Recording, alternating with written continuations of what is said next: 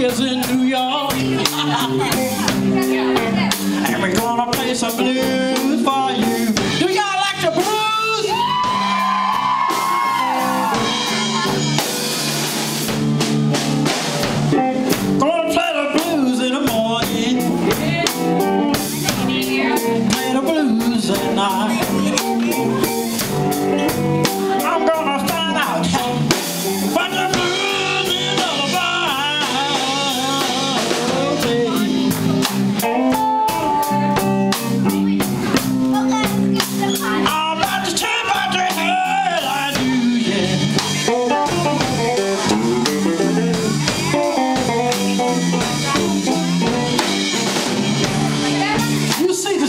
right here, y'all.